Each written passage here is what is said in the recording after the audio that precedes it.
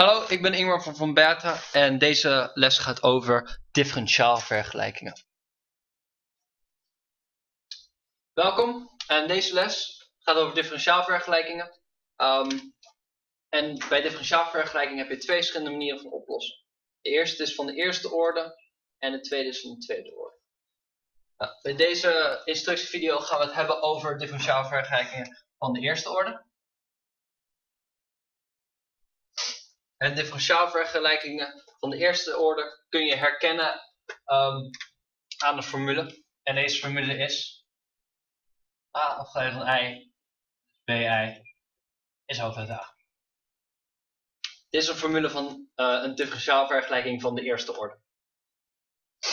Um, nu kunnen we dit oplossen door twee verschillende, uh, twee verschillende technieken toe te passen. De eerste is het homogene deel en het tweede is het particuliere deel. Dus het homogene oplossing.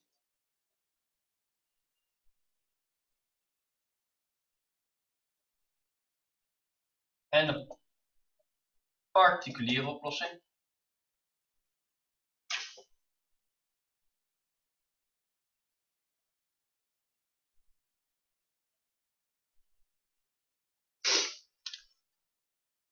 Om het homogene deel op te lossen hebben we een, een trucje. Uh, ik zal hem hier even de formule ervoor toezet, uh, neerzetten.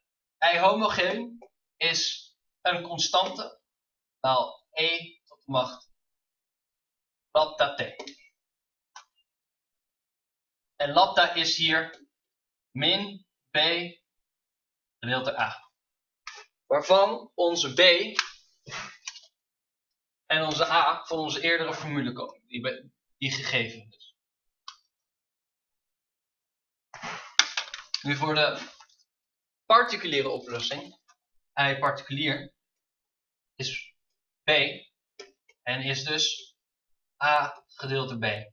Waarvan weer onze a, hoofdletter a, en b gegeven zijn bij onze eerdere formule.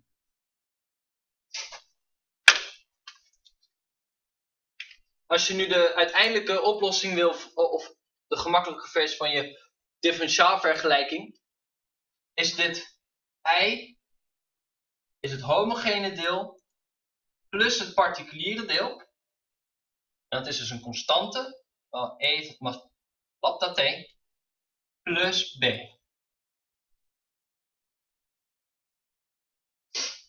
Nu gaan we dit, uh, ga ik het ook laat, uh, laten zien met een formule. Um, en hoe je dit uiteindelijk de C weg kan werken. Dus dat zal ik eventjes een formule op gaan zetten. Maak eventjes uh, het bord schoon.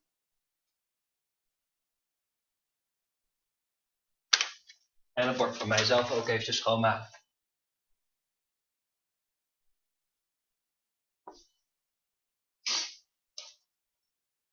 Nu zet ik de twee formules eventjes snel aan de zijkant, zodat jullie makkelijk mee kunnen kijken. Dus het homogene deel was C maal e tot de macht lambda t bij lambda min b in b deelt door a is. Het particuliere deel was noemen b is dus a deelt door b. Nu maak, verzin ik even snel een formule om het gemakkelijk uit, uh, uit te leggen. Um, afgeleid van i plus i is 6. Nu heb ik eerder gezegd dat een differentiaalvergelijking kan je zien als a maal afgeleid van i plus bi is hoofdletter a. Schrijf dit eventjes onder.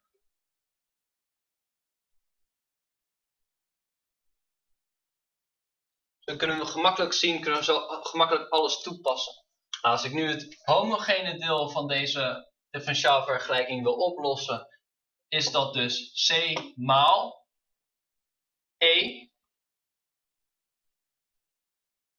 mag lambda t.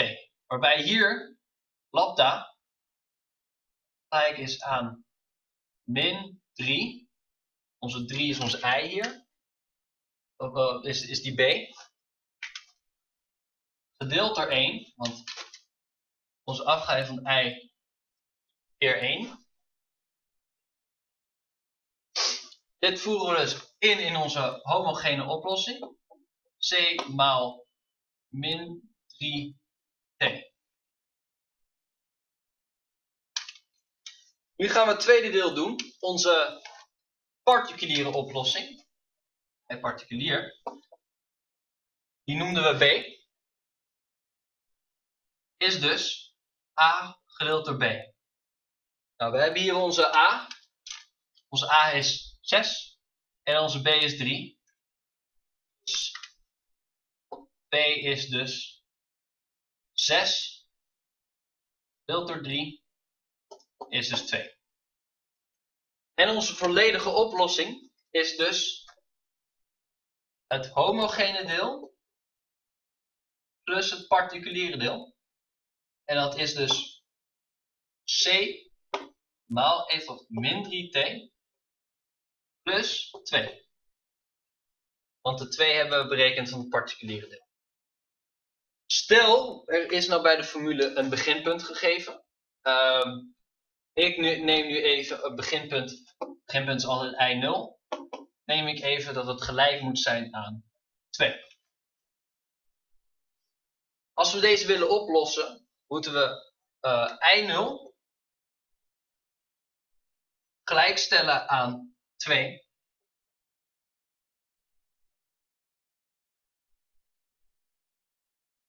En hiermee kunnen we c oplossen. Want c is bij ons nog steeds een constante die nog niet bekend is. En dat willen we wel graag weten.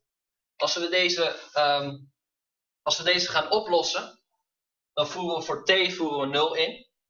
En dan krijg je c maal e tot de macht 0 keer, uh, of de min 3 keer 0. Sorry. Um, plus 2. Even kijken of dit nog een beetje te lezen is. Haal hem eventjes weg. Dan uh, schrijf ik hem eventjes opnieuw, want hij is uh, niet zo goed te lezen. Dus we hadden c maal e tot macht min 3 maal 0 plus 2. Kunnen we ook schrijven als c maal 1 plus 2 moet gelijk zijn aan 2. Want we hebben eerder gezegd onze beginwaarde, i0, moet gelijk zijn aan 2. Dat heb ik hier ook geschreven.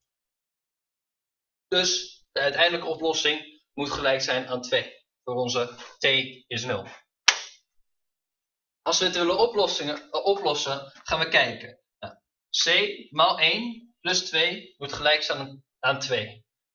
In dit geval moet c gelijk zijn aan 1, want 1 maal 1 plus 2. Het moet gelijk, sorry, sorry, ik, uh, ik zat even niet op te letten. Het moet gelijk zijn aan 0. Want 0 maal 1 plus 2 is natuurlijk gelijk aan 2. Dus onze uiteindelijke oplossing, die zal ik eventjes schrijven in rood, is i is 0 maal e tot de macht min 3t plus 2. En in dit geval is i dus altijd 2. Dit was uh, onze uitleg voor differentiaalvergelijkingen van de eerste orde. Ik hoop dat dit uh, wat inzicht heeft gegeven voor uh, de differentiaalvergelijking van de eerste orde. Ik, ik, hoop dat jullie er wat van geleerd hebben. Als je meer willen weten, kijk dan eventjes op voorbeta.nl ehm, en kom gerust langs voor bijles van Jan Willem.